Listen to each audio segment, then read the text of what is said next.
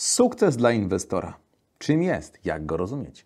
Czy inwestor, który odniósł sukces, to jest ten, który zrobił jakiś duży projekt, obrócił budynkiem, działką, ogromną, zrobił milion złotych w rok? Czy może ma milion kontaktów? Czy jest po prostu może znany, jest celebrytą?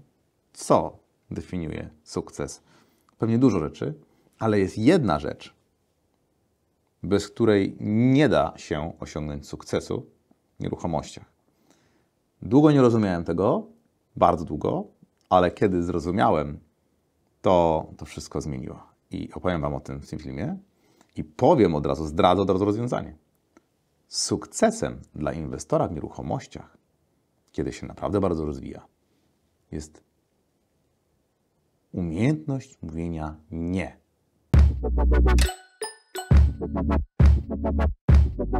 Cześć, nazywam się Robert Jarczyński i od 2012 roku jestem zawodowym inwestorem na rynku nieruchomości i zajmuję się zawodowo budowaniem pasywnych portfeli mieszkań na wynajem dla inwestorów. Rozwój inwestora wygląda tak, że kiedy zaczynasz, to jesteś w sytuacji, kiedy masz czas. Albo średnio czasu, ale wygospodarujesz sobie czas. Kiedy masz pieniądze do tego, albo masz finansowanie. No bo Większość ludzi myśli, że musi mieć pieniądze, żeby inwestować. Wcale nie. Muszą mieć finansowanie, muszą skądś wziąć w jakiś sposób, czyli niekoniecznie muszą mieć sami. To jest ogromna różnica. I nie mają okazji. No, nie widzą ich, szukają ich i się starają, uczą się tego. Nie? To jest pierwsza rzecz. I trwa to czasem długo. Rok, dwa, trzy, pięć. I szukają tych okazji. W zależności od tego, jak intensywnie, no, ostatecznie te okazje znajdą. No i teraz wpada Ci taka okazja, wreszcie wpadła. To co robisz? Bierę, nie? Więc bierzesz wszystko, co wpada. Wszyściusieńko, wszystko. Jest okazja, biorę, no kurczę, zarobię pieniądze. I to jest też takie uczucie, to jest FOMO, e, czyli Fear of, of Missing Opportunity, tak? Czyli, że ucieknie Ci okazja. Mogłeś zarobić 50 tysięcy złotych. Mogłeś, a nie zrobiłeś tego, czyli straciłeś. To jest takie uczucie, jest ten strach. Więc na początku, tak jak powiedziałem, jesteśmy w sytuacji, mam czas, mam pieniądze lub finansowanie, nie mam okazji, te okazje wpadają. No i to tak troszeczkę trwa. Potem pada druga okazja, trzecia, piąta, siódma, dziesiąta. I ani się obejrzysz, minie trochę czasu. W zależności trochę od inwestorów, bardzo często to jest rok, dwa, trzy. To jest taki okres czasu.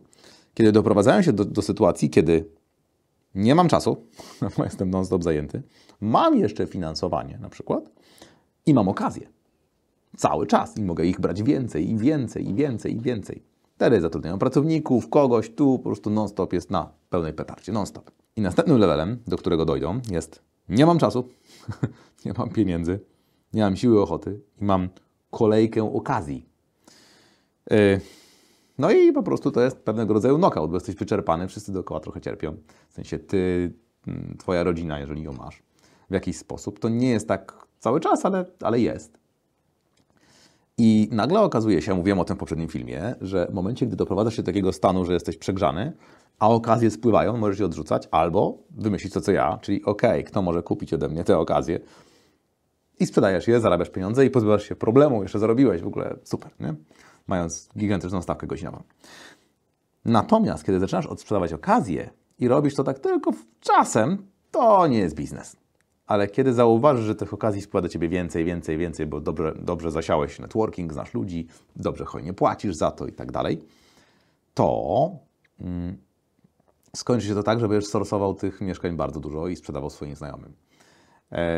czy, no, czy jakimś innym znajomym inwestorom. Nagle okaże się, że z tego takiego rozwiązania problemu, bo masz okazję, nie rozwiąza- masz kolejkę okazji i nie chcesz, żeby uciekły, nagle okazuje się, że zaczyna się robić poważny biznes.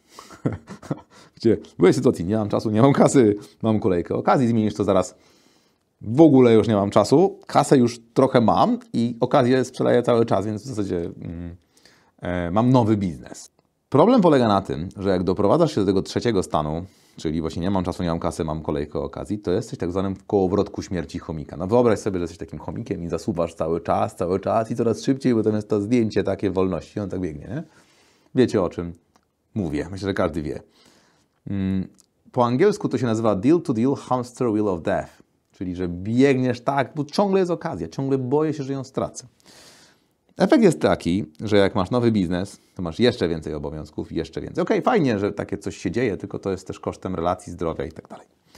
Efekt jest też taki, że w momencie, kiedy zaczynasz być znany na rynku, bo już networking zrobiłeś i tak dalej, i ludzie widzą, że masz wyniki, albo jeszcze pojawiasz się na YouTubie, czy napiszesz książkę, czy prowadzisz szkolenia, jesteś aktywnym uczestnikiem na różnych konferencjach, no to ludzie obdarzą Cię zaufaniem. I skończy się tak, że zaczniesz mieć propozycje. Czyli powiedzmy, okazję już znalazłeś, ujście, dobra, nie robię tych okazji, tylko je sprzedaję, tak?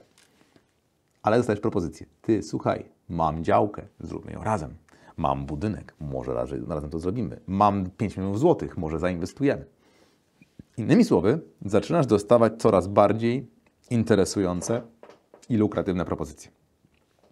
Jeżeli przypomnimy sobie ten czas, kiedy miałeś y, charakterystykę, mam czas, mam kasę, finansowanie, nie mam okazji, czyli ten basic, i nagle te okazje same do Ciebie spływają, propozycje dostajesz coraz lepsze, no to po prostu to jest jak raj.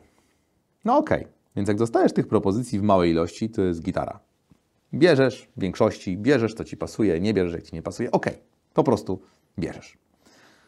Problem tylko polega na tym, że wiele osób, bo w nieruchomościach nie dzieje się to tak cały czas, tylko jest tak jakby cisza, cisza, cisza i ogień, po czym znowu cisza, cisza, cisza, ogień. I tak jest na zmianę. Stąd przyjdzie moment, ja sobie nawet taką notateczkę zrobiłem, taką prostą, o zobacz, że będziesz wyglądał tak, tak jak to kółeczko, że jesteś sobie takim inwestorem i, że tak powiem, jedziesz z koksem w każdym możliwym kierunku, bo robię to, to, to, to, to, na wszystkim zarabiam, w ogóle wszystko jest spoko, nie? No właśnie. Więc mój wniosek kilka lat temu był taki, że na wszystkim w nieruchomościach mogę zarobić. Dosłownie na wszystkim. I druga myśl, która była z tyłu, okazje się nigdy nie skończą. One zawsze są, były, będą. Trzecia myśl. Okazja dekady zdarza się co tydzień. To pozwoliło mi się mentalnie uwolnić z tego trybu, który Ci tutaj zaprezentowałem. I pozwoliło mi się na to spojrzeć z boku. Dobra, no jest okazja, poszła. Trudno, następna będzie za chwilę, to nic wielkiego. Więc tak jak pociąg jeden uciekł, dobra, będzie za 5 minut następny. To jest mniej więcej tak. Doprowadziło mnie to do pytania, no dobra, to co lubię robić i czego nie lubię robić. Co lubię, czego nie lubię. Nie? I zacząłem sobie się zastanawiać spośród tych wszystkich rzeczy, które robię, co lubię, czego nie lubię. Na czym się dobrze zarabia, na czym się źle zarabia. Co w ogóle chciałbym robić, a czego nie chciałbym robić. Albo które czynności w tych procesach są dla mnie nie do, nie do albo nie chciałbym się nimi zajmować. Jeżeli ktoś mówił ci, wiesz, musisz mieć strategię inwestycyjną i tak dalej, i nie do końca rozumiałeś, rozumiałaś o co chodzi, albo jako inwestor dobrze, żebyś podążał za jakąś swoją wybraną strategią, to strategia, tak na najbardziej podstawowym poziomie, na, na, na, jako najbardziej podstawowa definicja, to jest co robić i czego nie robić. I dlaczego? Więc ja w ten sposób doszedłem do zrozumienia, jaką powinien mieć strategię inwestowania, która jest dopasowana do mnie, do mojego charakteru, do moich sił, do moich słabości, do tego, kim jestem. Kiedy to wiesz, to zaczyna się, ok, introspekcja, tak? Co robię? Jak to jest? Sprawdzamy sobie dokładnie, co robię, czego nie robię. Czym się zajmuję? Ok, to się kończy, tego więcej nie robię. To się kończy, tego nie robię. To się kończy, tego nie robię. Tego nie chcę, to chcę. I się zaczyna układanie. Trochę ten proces potrwa. Pojawiają się też propozycje. Coraz lepsze. Wielokrotnie miałem taką sytuację.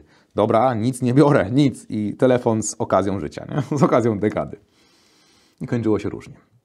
Więc kiedy jak gdyby zbudowałem sobie tę strategię, to i zrozumiałem ją, nie narzucając sobie, a bo dobra strategia to, tylko tak jakby rozumiejąc ją od środka, czyli co chcę, czego nie chcę i dlaczego, co lubię, czego nie lubię. I pozwoliło mi to wszystko zdefiniować, to uprościło się moje życie w ten sposób, moja praca, zacząłem więcej zarabiać, bo o to też chodziło. Wyrzuciłem rzeczy, które dawały mi stres. Polecam sobie tak robić. I tak samo zacząłem podchodzić do tego, mam propozycję. Bo ja takich propozycji różnych, regularnie biznesowych, różnych biznesowych dostaję regularnie. Czasem to są totalnie nieinteresujące, to jest bardzo prosto, czasem są średnio interesujące, a czasem są po prostu mega, czasem są cudowne, wspaniałe, wyjątkowe, takie, że po prostu myślisz sobie, o, biorę, nie? Tylko trzeba jeszcze wtedy spojrzeć przez pryzmat strategii, która powinna być. Jeszcze do strategii można sobie napisać, dlaczego to robię. Dlaczego? Po co? Żeby nie było, że będę gonił tylko za pieniędzmi. Tak? Tylko dlaczego?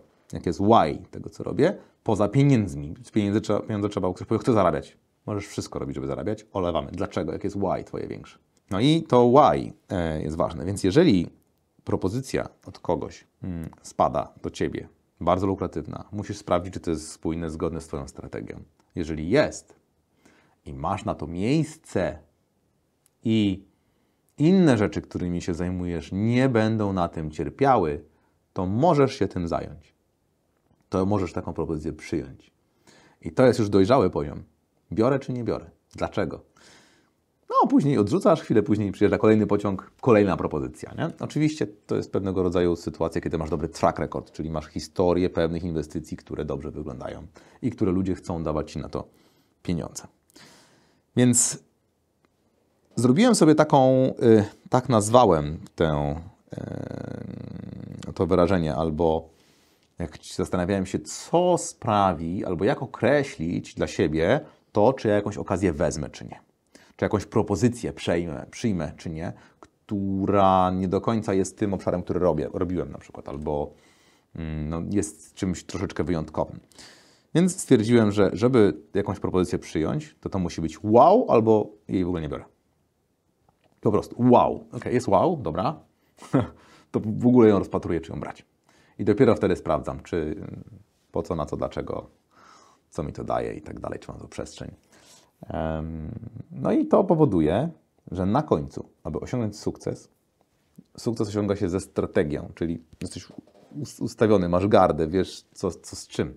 Nie rozjeżdżasz się we wszystkich kierunkach, tylko jesteś sfokusowany. I teraz na początkowym etapie, kiedy będziesz mówił nie, to nie, jesteś na początkowym etapie. Ja mówię o tym, kiedy się rozwiniesz jako inwestor, to przyjdzie moment, że musisz sobie to selekcjonować. Tak samo jest też w każdym biznesie. Nie każdego klienta obsługujemy. Sukcesem w rozwoju biznesu jest mówienie klientom nie. Przepraszam, ale pan jako klient naszej firmy nam nie pasuje. Oczywiście można powiedzieć inaczej. Ale myślę, że ci z Was, którzy są bardziej rozwiniętymi przedsiębiorcami, doskonale wiedzą o czym mówię. To jest oczywiste i podstawowe, a ci, którzy są na początkowym etapie, muszą brać wszystkich. Więc im większą masz widoczność i zaufanie, tym więcej propozycji będzie do, do Ciebie spływać. I kluczem do tego, żeby jak najlepiej to wykorzystać, jest coraz częściej, coraz więcej i z coraz większym luzem mówić nie dziękuję, nie jest to ze mną spójne.